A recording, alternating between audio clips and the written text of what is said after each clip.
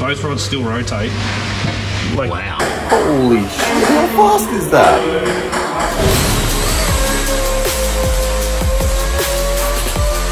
In today's video, we are at Drag Race.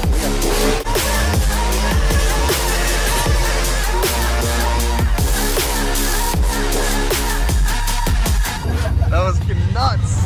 Oh boy, another day at APM You know what time it is, boy. Let's go have a look. There's uh, Big Timmy's big block just sitting there, waiting to go on the engine dyno still. Fuck, this thing is huge. Yeah, this block is from Sohem. So you can see shirt that I'm just wearing just here. I'll put a uh, link down below in the description as to where you can get these. But this is, you can see Gen 4 6 litre. This is an iron block. This is an LY6 block. So this is going to take a lot more punishment. And uh, thanks to uh, Luke over there at Sohem, he's really looked after us with this. So if you have any, he even has heaps of stuff for C10s, like that's his main bread and butter, along with all these LSs and everything, and pulling in iron blocks from the States.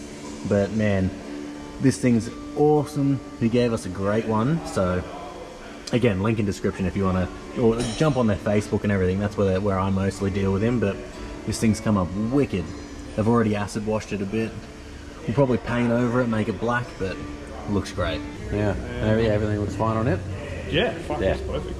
Oh, And, awesome. Yeah, like I'll just own it and deck, it. deck it, put your main studs in it, own it. Sweet. And that's that's all good. And all your blown up shit's on it.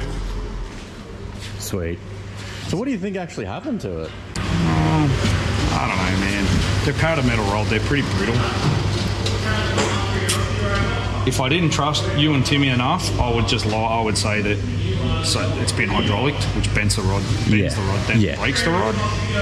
Like you look at the crank, all the bearings that come out of it are brand new. Both rods still rotate. Like Wow. there's nothing Yeah. wrong. There's no. It hasn't spun a bearing or anything like that. It's just broken the rod. That's insane. But as to exactly why, it's hard to tell. I've seen stock rods make a thousand horsepower, Yeah. not have a problem. But you know, this thing wasn't running that great the last two times you had it out with different Yeah. fuel system issues. And that whether that played a part in it, possibly would have been detonating pretty hard. But in saying that, the rest of it, like it literally is brand new, bar the broken rod Yeah. and one piston's fucking disintegrated because the piston rod smashed it to pieces. But like you could put the other six rods and pistons straight in another engine. You could undo those rods, change your reluctor wheel because it's beaten up, and put it in another engine. Like, What, even that crank? yeah, Oh, I thought it was because it was so bashed on the bottom that it'd, Nah, it'd you be just deburr all the dings and shit. Put a new reluctor wheel on. Honestly, if you had to, you could fix that block. Wow. Roll the patch and put it in it, a couple of sleeves, and it'd go again. That's Holy shit. That's what I mean. Aside from the factory rod breaking, there's nothing wrong with this fucking thing. Not mechanically, anyway. But, uh, Oh well. E- e- either way, now it's going to be a much much stronger setup. rid of every GM part except for the bare head castings and the crank. Yeah. So there's no, and I know that the heads and the block will both support way more than. For what we're going to be doing. So how, how wild is that? He literally like cannot even say why I let go. It just let go. So it wasn't our fault. We didn't screw it up. It just decided to let go. But either way, we're going to be putting incredible stuff in this new engine. All the stuff over here. I, I probably won't pull it out just because it's so hard to get to it all. Bunch of forged goodies. And it's going to be a lot stronger this time. So this time we should make easily a thousand horsepower um, and put the limiter up too. Man, I can't stop looking at this thing. Just everything about Tim's engine is just next level. Insane.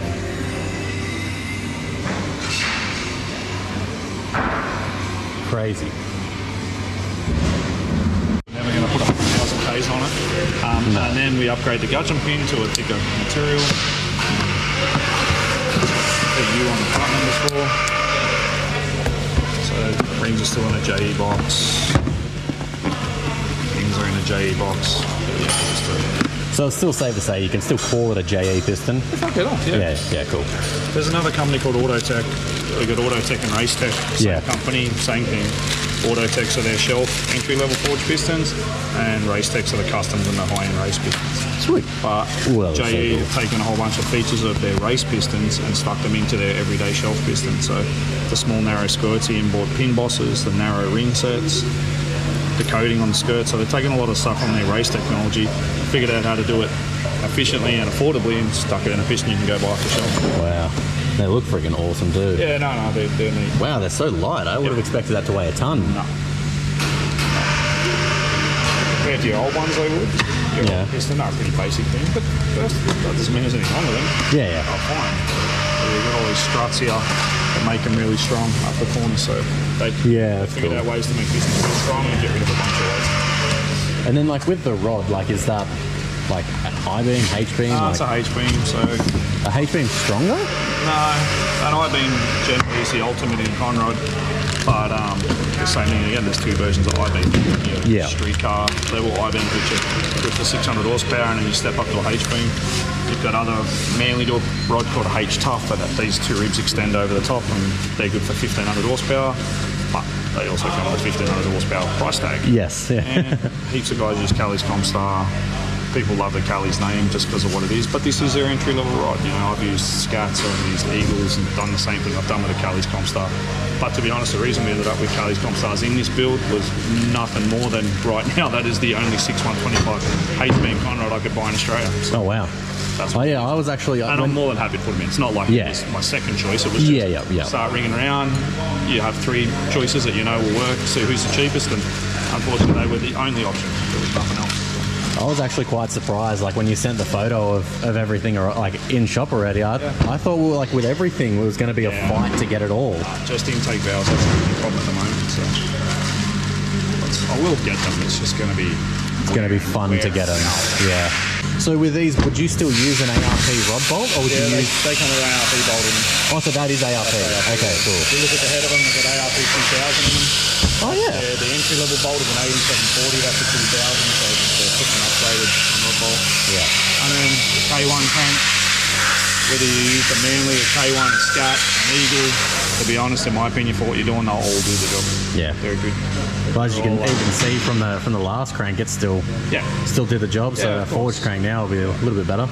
You could take the next step to either a billet uh, Howard's crank or a billet Reaper crank by uh, by Manley, uh, a Callie's Dragon Slayer or something like that, but same thing, double the price. Yeah. Not trying to build an engine to make two and a half thousand horsepower. No, that's that's for Tim over there. Yeah. Yeah. So yeah, you got to, you know, you definitely got to make a, um, a choice between strength and price, and you know, dedicated to what your customer wants to do. There's no point putting a, you know, a Callie's um, two and a half, three thousand dollar crankshaft and engine only going to make four or five hundred horsepower. Yeah, exactly. But And no, this will be good. This will do the job. Yeah, Like and- you said, your stock crank did, so there ain't no reason this isn't going to. exactly, yeah. And at the end of the day, like burnout cars are just fucking just torture. Yes. Like so. Yes, they are. Yeah. It's just breaking shit for the sake of breaking shit. I'd really rather you guys didn't, but I would have thought at least that like it'd have a basic balance to it, and then you'd only have to rebalance it for if you're going for Yeah, well, a much larger only- stroke. They normally set them to about, I think these ones are about 18, 1800 bob weight Yeah. or 1850. And then you just got to adjust from there because your rotating assembly could be 1700. So you need to take that metal out of the Yeah. counterweight. Because I like because Aaron was saying this is pretty much still standard stroke more or less. I would have thought you'd be like you could get away with not having to balance it much, but I could understand if this the piston was huge or it weighed more than what a say a factory option would be. I could understand that you'd need to do it for that heaps. There's too many different combos, so that's why manufacturer will set a bob weight and you can adjust from there. Is there any combination where it would just work out of the box? When I'm performing, Really? never boring, now you can't afford it. Champagne Perrier, finish friends on my face. Looking like I'm from the deep.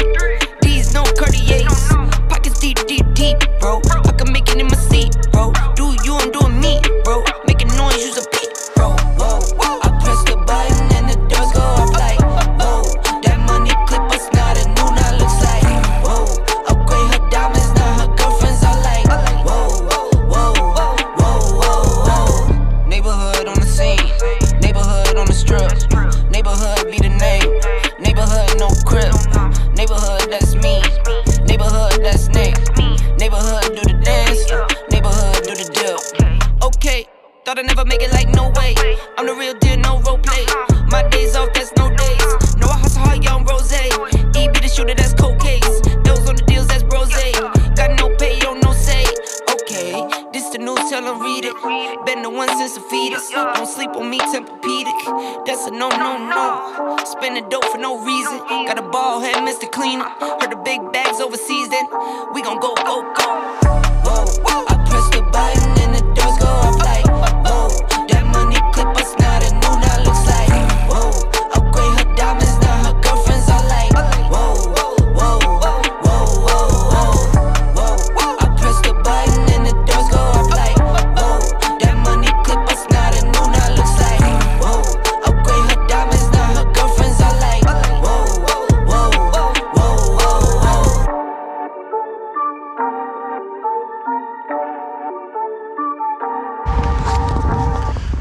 So that's going to wrap up our time at APM Huge shout out to Brad and Aaron because they both took out some time of the day to chat to us and uh, run us over with everything. So, man, I can't wait to have this thing together. It's going to be so freaking sick.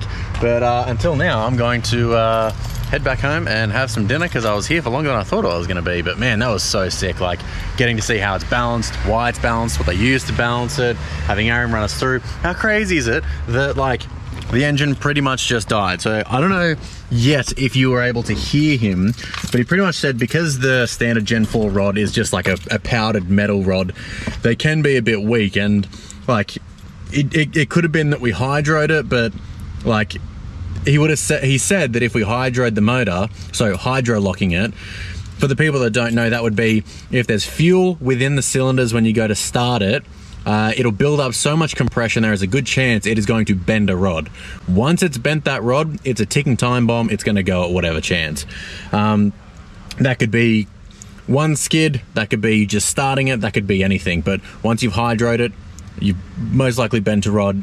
It's all over from there, kind of thing. But I mean, almost every time we started the car, it's been on camera, and we, like he said, the the telltale sign if it doesn't actually completely hydro, completely lock up um, to the point where like the thing's rock solid stuck, then uh, it'd be like instead while it's turning over, instead of like turning over smoothly, it'll it'll really chug, then it'll go faster again. I feel like the only time that's ever happened because I was so pedantic with it was kind of Brashenats, but that was what June last year, so nine, ten months ago, he said, no, no, no, that wouldn't have been it. Like, if it would have been within the last two fire ups, that it, like, that's how long they normally last, if any, if anything. So, definitely wasn't that. Uh, but normally, if someone came in and said what happened to that engine, he would have said that probably hydroed it at one point. But as far as I'm concerned, we didn't. So he said it literally just looks like they're they're a bit of a fragile rod, and it looks like it just let go. But we have some insane parts going into it. We have Callie's rods, JE pistons, uh, a K1 forged crank in an LY6 block. Like this thing will be mint, and it'll make a thousand horsepower. Alrighty, guys, that's where I'm to wrap up today's video. Huge shout out to the guys from APM. Huge shout out from the guys from uh, Sohem. And man, I'm so keen for this build. Alrighty, guys, I'll catch you in the next one. Catch you later. See you later. Take it easy. Peace. I've been out grinding and hustling, investing this paper, got tired